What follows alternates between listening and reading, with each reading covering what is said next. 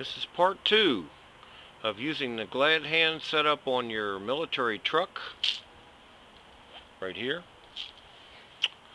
for running your air tools and pumping up tires etc. Biggest problem with using air tools like an impact wrench is that you run out of air very quickly and uh, your power fades off. So what you do is you put this thing in line by using a male to male jig like I made going into an octopus rig here that feeds the tank and then you can take the air at the same time and use it for your uh, impact tools. And you can also benefit from this little operation here by uh, if you're filling this tank you know how you have to normally stand there and hold the air chuck onto this thing right here? Well you just hook this thing up and you turn this valve here to let the air in.